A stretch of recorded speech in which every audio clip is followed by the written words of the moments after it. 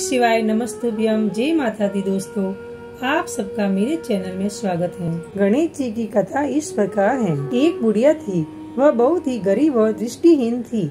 उसके एक बेटा और बहू थी वह बुढ़िया सदैव गणेश जी की पूजा किया करती थी।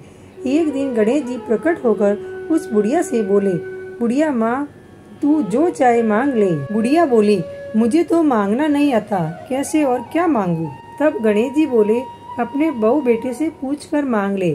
तब बुढ़िया ने अपने बेटे से कहा, गणेश जी कहते हैं, तू कुछ मांग ले, बता मैं क्या मांगू? पुत्र ने कहा, माँ, तू धन मांग ले। बहू से पूछा तो बहू ने कहा, नाती मांग ले।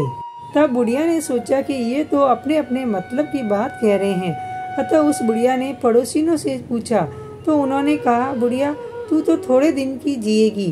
क्यों तू धन मांगे, क्यों नाती मांगे?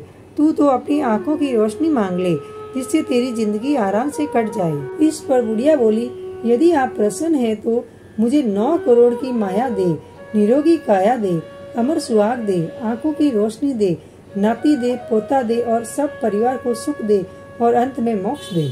यह सुनकर गणेश जी बोले, बुढ़िया माँ, तुमने तो हमें ठग लिया, फिर भी जो तूने मांगा है वह वचन के अनुसार सब तुझे मिलेगा। और यह कहकर गणेश जी अंतर्धान हो गए। उधर बुढ़िया माँ ने जो कुछ मांगा, वह सब कुछ मिल गया। हे गणेश जी महाराज, जैसे तुमने उस बुढ़िया माँ को सब कुछ दिया, वैसे ही सबको देना। आशा करती हूँ कि आपको मेरी वीडियो पसंद आई हो तो लाइक, शेयर ज़रूर कीजिए और अगर आप मेरे चैनल पर पहली बार आए हैं तो सब्सक्राइब करना ना भूले और बेल बटन को प्रेस करें। इससे क्या होगा कि मैं जो भी नई वीडियो अपलोड करूँगी उसका आपको नोटिफिकेशन मिल जाएगा। तब तक के लिए जय माता दी दोस्तों।